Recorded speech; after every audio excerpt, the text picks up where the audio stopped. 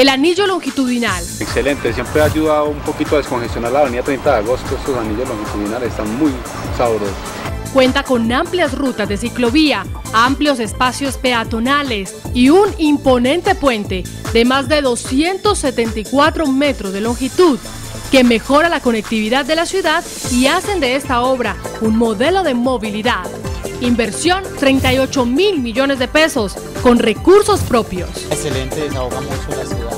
Esta oportunidad hecha realidad se convierte en otra de las avenidas principales de Pereira, alterna a la avenida 30 de agosto. Mencionemos otras de las oportunidades que hacen realidad una mejor movilidad y que transformaron a Pereira.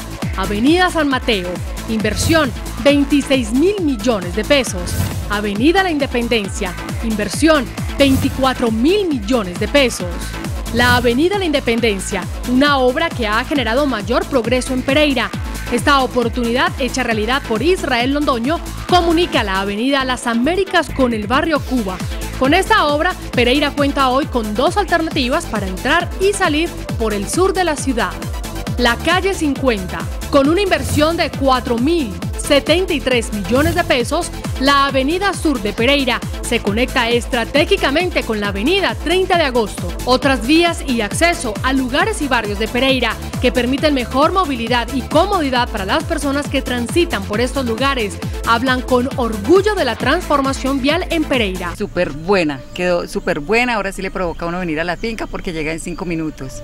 Antes pues los pantaneros, los trancones, los huecos no le provocaba a uno, pero ahora sí, delicioso. El alcalde Israel ha hecho muchas cosas buenas por, este, por esta ciudad y seguro que yo creo que irá a hacer más, pero de momento estamos muy bien.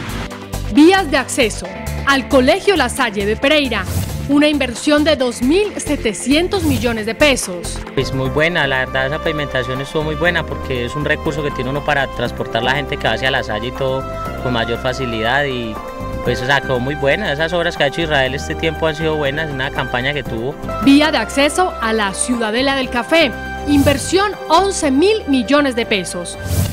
Parque Industrial.